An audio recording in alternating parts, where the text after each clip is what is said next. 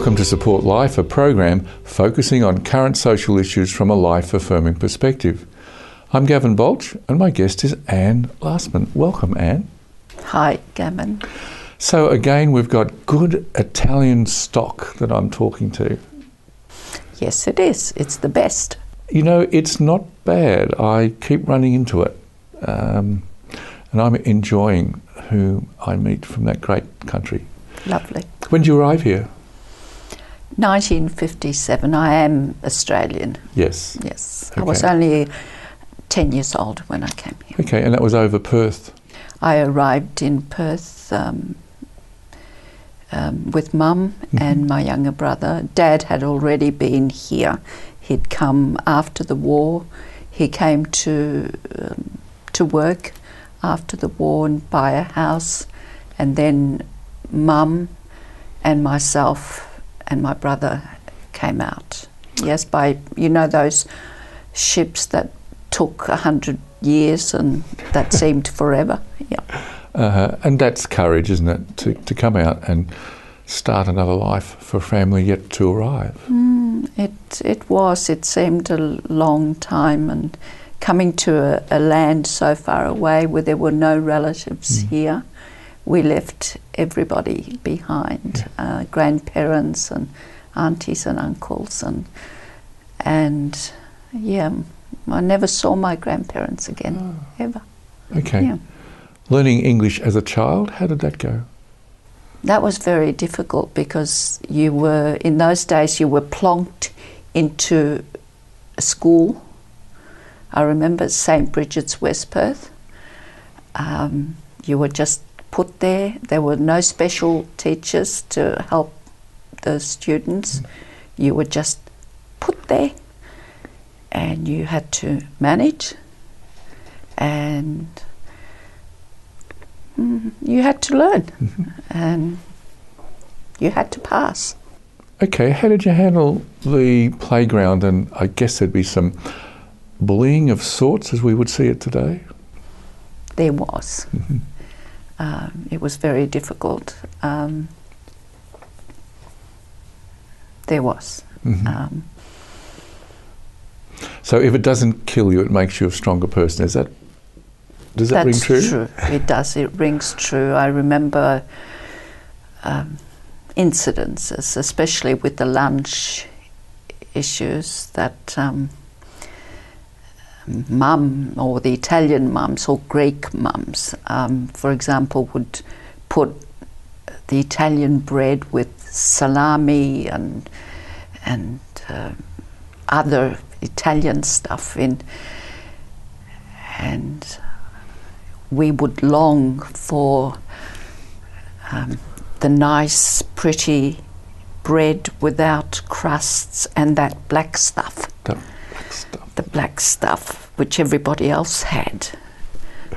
But mum wouldn't give us that black stuff with the pretty bread. Mm, it's called axle grease, and it's great for soldiers that need to have some light face Yeah, but everybody else had that, you see. But we were having that salami. And then, in order to look normal, we'd throw away our Italian bread with salami and have nothing all day, you see. Well, as you talk to me, I'm already salivating about salami and the cheese and the olives and the crusty bread. But you see, 10 year olds and 9 year olds and 12 year olds and don't feel that way. They just want to feel normal. They want to feel the same. Um, and other Italian goodies, biscottis that mum used to make. And the children don't want biscottis, they want the milk arrowroot, like everybody else had. And so you threw them away as you went along the road. So, Okay, now talking about throwing things away, there was a, a point later on in your life, much, much later, and uh, you found something that was thrown away. It was a scrunched up piece of paper that you unravelled. What, what was that I about? I can't tell you anything, can I? yes, that was something that changed my life. Okay, so I- what was it?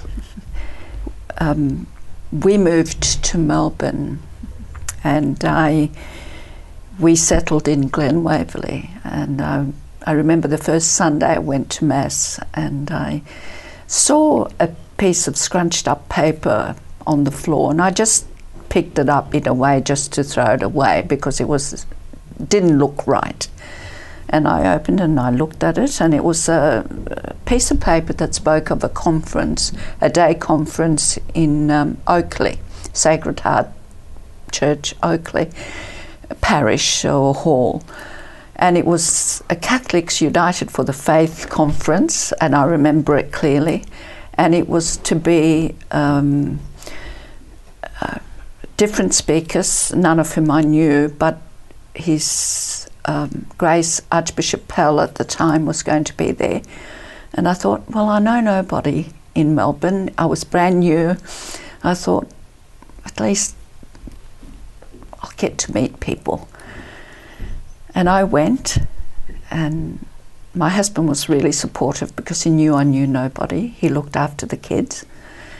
And I mingled. Um, and there was a table there changed my life. I um, there was a table called um, abortion alternatives, and on there there was um, images or photos of aborted babies, mm-hmm. Um, dismembered babies and I looked at them and I grabbed some and I ran out. And you held those photos to your heart yeah, I did. very closely, very tightly. Why? Because it brought back mine. Um, as much as I've now worked in this area for 20 years, you never forget it. Mm-hmm. You don't. My two babies, Miriam and Joseph, I've spoken about them all around the world. Their names are known all around the world. Mm-hmm. Um, they have a plaque in South Melbourne as a memorial. Um, but that very first time when I, I saw what happens to an abortion, because people use the word abortion, but nobody knows what an abortion is. Mm-hmm. We use the word abortion, mm-hmm. but nobody quite knows what an abortion is. Mm. Abortion is the dismembering of a baby, mm. it's the cutting up mm-hmm. into pieces of a baby which is nestling in its mother's womb. And we're going to come back to that and unpack it a little bit more. Okay. You're watching Support Life, and we'll be back after the break.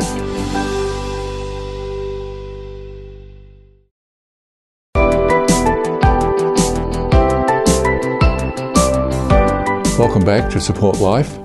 I'm Gavin Baulch, and my guest is Anne Lastman. Anne, you're sharing a very intimate, personal moment and sharing about two children, two children that you had aborted. Yes. In fact, um, that had been buried for some 20 years? At the time, yes. I hadn't spoken about them.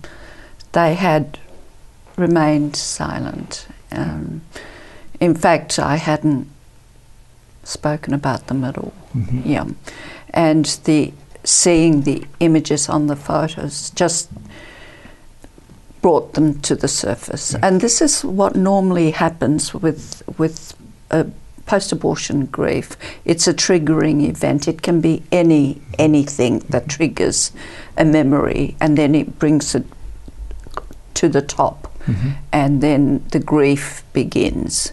With me, I was having um, nightmares for years about dismembered babies, but I never ever connected dots.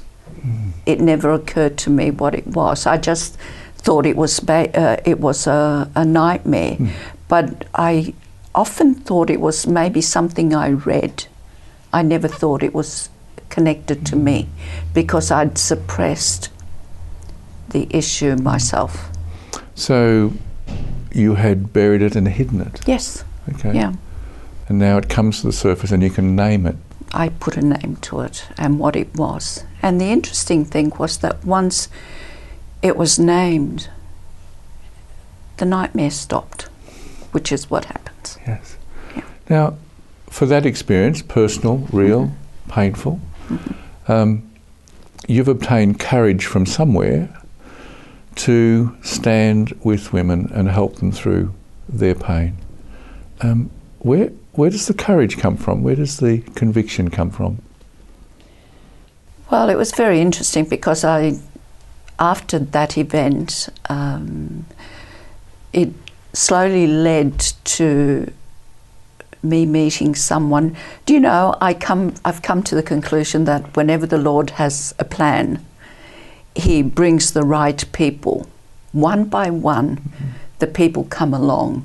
When He has a healing in store, all the right people come along he did that for me. Eventually, he led me to a priest psychologist who led me through a healing experience. And then he said, Anne, now you go and do this, what the Lord has done for you, you do for some, to everybody else, for others. I said, yeah, yeah, right. yeah, right. Um, but I have. Yes. I I did do it. Um, it helped because I also did studies in the area of psychology. I did a Bachelor of Psychology Counselling, um, and then I continued with Masters in Theology um, in the spiritual area and other studies. But the thing was, I never really wanted to enter into counselling. It wasn't what I had planned. Uh, all my life, I had wanted to enter into theology and lecturing. Did you see a pot of gold at the end of that rainbow, did you? Well, it wasn't so much, I, well, I really wanted to lecture in theology. I saw myself as a lecturer in theology, not as a, uh, a counsellor. I never saw myself as a counsellor, Mm-hmm. never. Or even entertained it. I never saw myself as a counsellor, but I did see myself as a lecturer. Okay. And I think I told God that I saw myself as a lecturer, and He started laughing loud.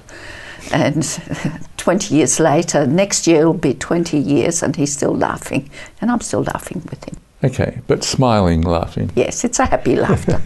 some joy. yes. Okay. So, but in in counselling, mm-hmm. it's it's a difficult pathway because who debriefs you?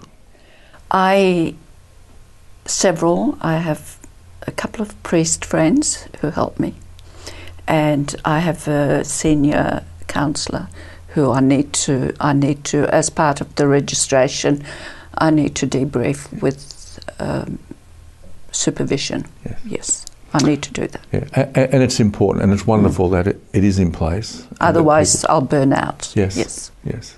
I think when there's a call on our life, um, it, God doesn't intend us to burn out. No. He, he provides us with community Yeah. to see us through, uh, which is very important. All right. So let's come back to some earlier years. Um, education uh, is something that you were able to enter into and do well at. Well, I actually stopped formal education in year 10. Oh. Yes, because I married the fir- first time very young, at 18. And then I started uni after my last boy went to school. So I didn't start uni till I was very old.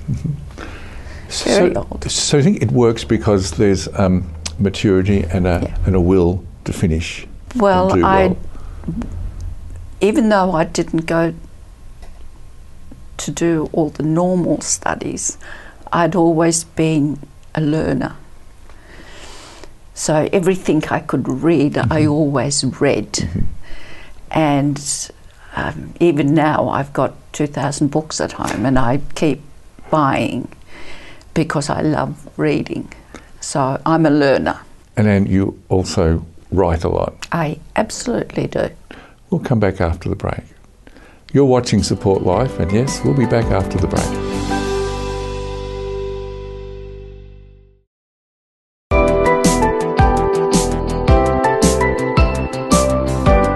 Welcome back to Support Life. I'm Gavin Baulch, and with me now is Anne Lastman. We've gone on quite a journey. Yes, we Uh, have. You being one who likes to read, but also likes to write. But writing comes out of life's education, doesn't it? It absolutely does, yes. All right. Now, you shared earlier on that there was some pain that was hidden, hmm and something released that, and you could name it, and you could you could move forward with it. hmm Have you written about that?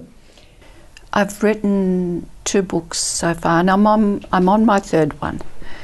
Two, um, the first one was on um, redeeming grief, which is um, about the experiences of post-abortion grief. Um, that came out of the work of dealing with women who've had abortions. Um, I loved that, writing that. The second one, which has only just come out a couple of months, in the last couple of months, is Hidden Pain, with um, sexual abuse of children within the family. That came out as a result of me being fed up with hearing um, about people wanting to talk about sexual abuse of children, but by priests. But my experience over 20 years is not priest or clerical abuse or priests, pastors, rabbis, because that's what the media brings to us. But my experience has been of children who later, as adults, who've come to me and have been abused within their family by fathers, brothers, uncles, aunties, um, mothers, um, even neighbours. Uh, not, I haven't not encountered a clerical abuse as yet. I'm not saying I won't, but I haven't so far. It's within the family, and that's this book has come out as a as a result of that. Yeah.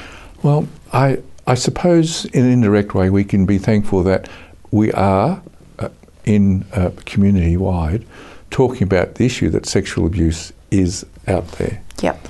Uh, and now it's the courage to look at, um, in fact, where it is taking place, and to at least for families in some ways to to be aware of this and know that the earlier we talk about it, the better and safer uh, things will be, and also we'll be helping bring early healing. Is that right? Well, it is, but we need to be able to speak about it because the children suffer. Um, if we can't get it out there, I wrote this book especially for those, for teachers, for priests and pastors, for those in whose care children are in, so that when you see a child, a child can't keep a secret. Mm-hmm. Children don't know how to keep mm-hmm. secrets. They will give out some clues, some that that something isn't right in their life. Mm-hmm. Listen to that child. Be present to the child. They're saying something. Please listen because that child is hurting. Don't allow the child to walk through life feeling that they're alone and that no one's caring for hmm. them. This is why the reason for this book. It's not a, a Barbara Cartland book. It's not that type of book. It's His Grace Archbishop Hickey in Perth said, "It's not a book. It's not an easy book to read, but it's a must-read book. Hmm. It's not easy. It's hard. Yeah. Well, it's not necessarily going to be on the New York bestsellers list, but Absolutely not. Right, but um, there's a great need out there to just have the courage to read it. You might be a person who can help another. It's a book that will explain the trauma, what you can see, how you can see it. I'm not out there to attack anybody. It, hmm. The book doesn't attack anybody. Hmm. In fact, there's even a chapter on the cler- on clergy abuse. It doesn't attack the clergy. There's a, a, a chapter on the perpetrator. Hmm. I don't attack the perpetrator either because a perpetrator is a human being also. This week I was asked if a perpetrator is an animal. No, a perpetrator is not an animal because it's a human being mm-hmm. who's messed up their life. Mm-hmm. They are never an animal. Mm-hmm. A perpetrator is a human being who's got the breath of God in them. They've messed up their life. There's a chapter on forgiveness. And not to bring up the word forgiveness after the second uh, counselling session. That's ridiculous. You mm. do not do that. Mm. Um, it's a very, as you say, it's not a, it's, it'll never make anybody's bestseller list. It's a hard book to read. But those who have read it have said it was very good. Yes. It was, it, it was a very hard book to write. Well, for those out there that, that have concerns and want to be informed Mm-hmm.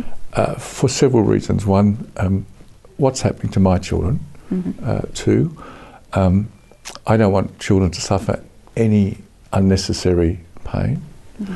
Uh, three, um, if I'm a resource, I'm the sort of person that others come to to ask questions, to seek advice, then I'm equipped to take them further into the realm of healing, redemption. Mhm. There we are. You need to know though. Mm-hmm. If you don't know, if we don't know, also if you don't know what to look for. Mm-hmm. Remember, one of the things that I have learned is that, and what I have heard from these victims, the thing that stands out most of all is the word loneliness, Abandonment? abandonment, and loneliness. Loneliness is that they have been alone, that they, all through the years, that while this was happening, that there was no one that they could go to. Mm-hmm. And great counselling is a counsellor who can go back to every episode of abuse and sit with them And while they go through with it. Thank you for sitting with me and the audience tonight. Thank you. My pleasure. You've been watching Support Life. That's all for our program today. Join us again next week. Goodbye.